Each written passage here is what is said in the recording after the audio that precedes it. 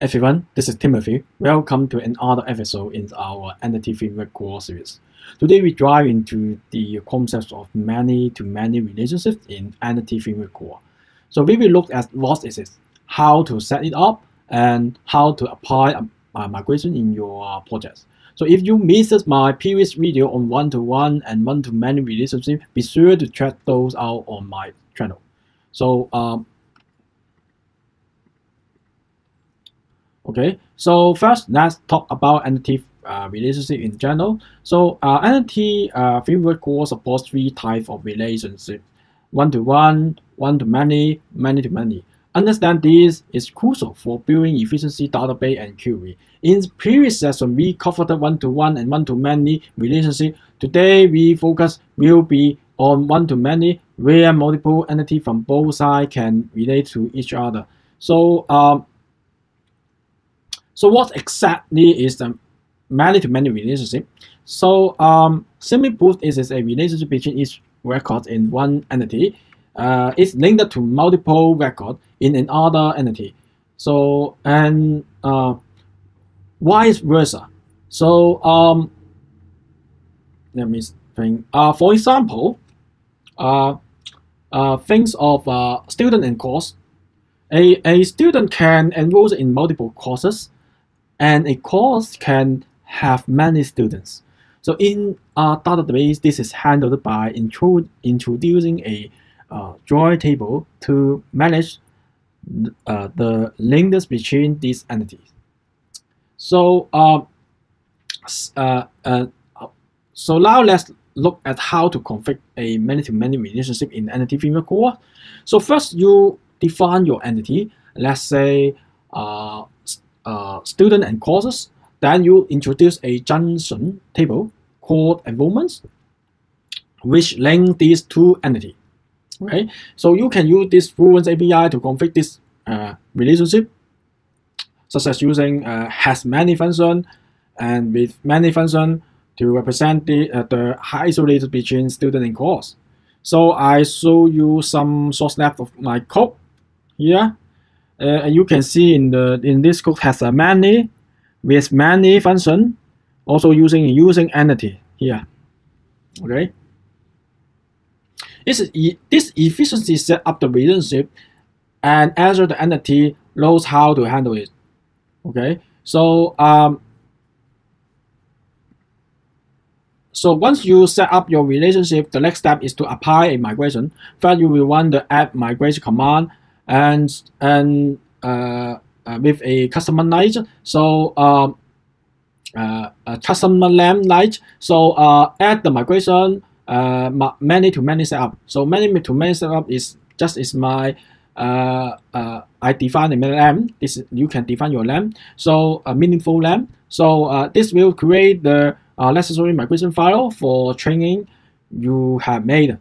So that the file will be under under uh, under the uh, migration uh, folder so you can find that file in the under the migration folder. So let's run the update database command. So this will apply the migration to your database including create the join table that represent many to many relationship. So now we go to have a look the code. So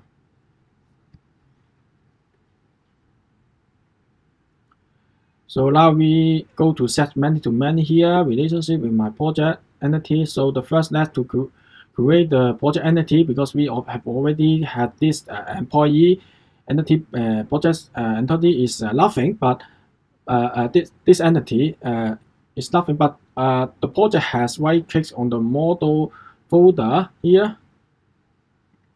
Right, you you if so uh, yeah before I already created so uh,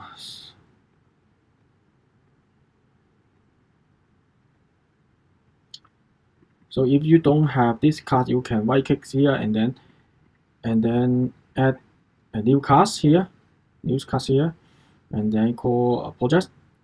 Okay. It's not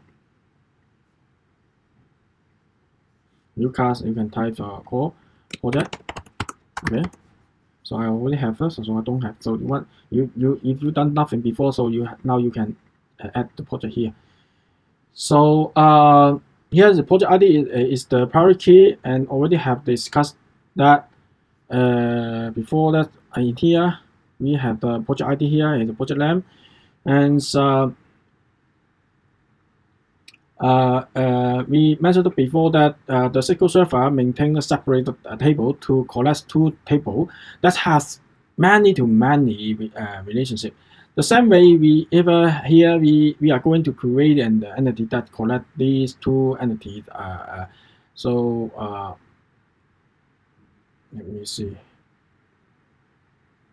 Um, if, we, if, if you don't have employee project set uh, uh, done the same way, I right here, add a new class here. So you have to create this uh, employee project. Okay, this is for conjunction table entity. So uh, this entity will have ID from both uh, the table and here I adding the employee ID, this ID from the employee class and this is reference navigation properties. So uh, the employee is reference navigation property. This tell that uh, this employee ID, this is employee ID, okay. So uh, this is virtual lazy loading. So you should have uh, employee ID. This is this is foreign key. Uh, this is a uh, this is a reference navigation property. Okay, this is also navigation property because we link up this. Uh, this is a uh, joint junction table entity. So we need to have both foreign key here. So I have a project ID and reference uh, reference uh, navigation property, and it tell the entity uh, framework core that this project uh, ID is from the project class. So our next step is to define collection. So uh, uh, define collection navigation property on the both entity to represent the relationship, and let's see how to do that. And I will open the employee here, right? So So I add this collection. Do you see here? I add this collection navigation property added. So uh,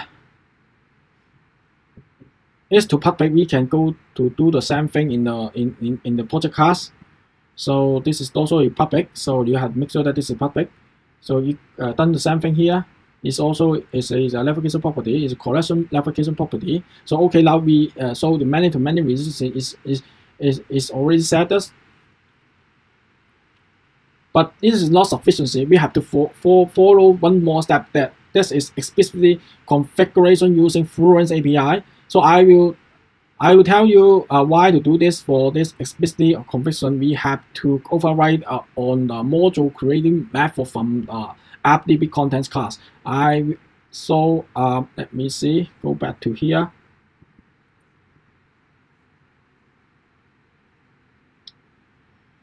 Open here. So we have we open the app uh, DB content class. We have this on config method.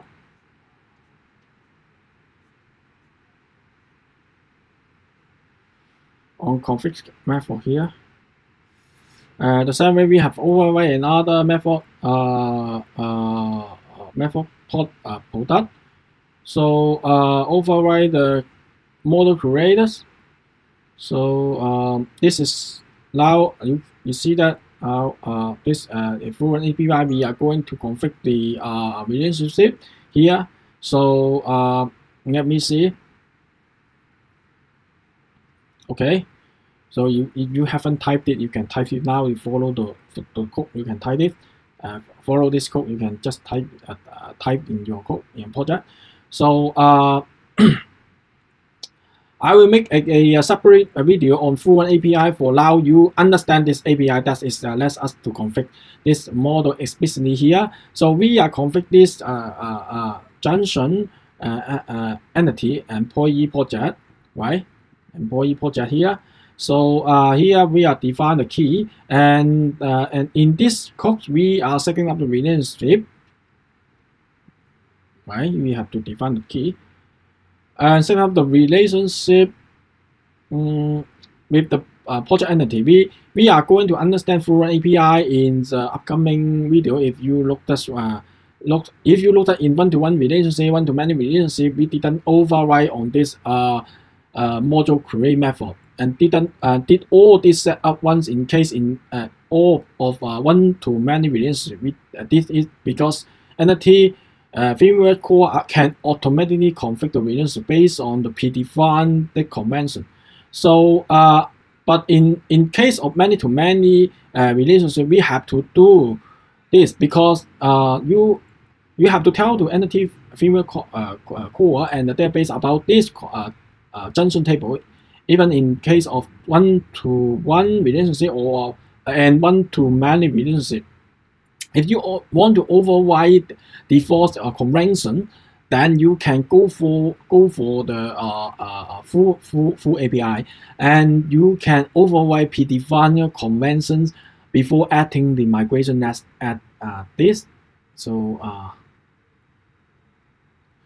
let me see how. Okay, same thing we do the before just uh, that's my son. Ow! Okay. Many.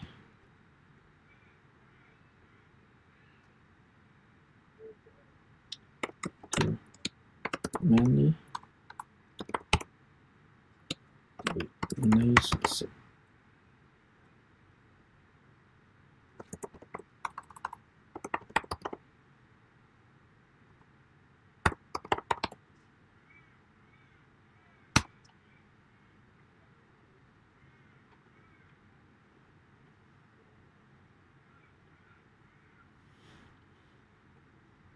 So now we have to apply this string. So database, database. So once you type, once you type the add migration, you will see uh, uh, you have created a new file under the uh, migration folder. So now the database is already updated. Okay, so um,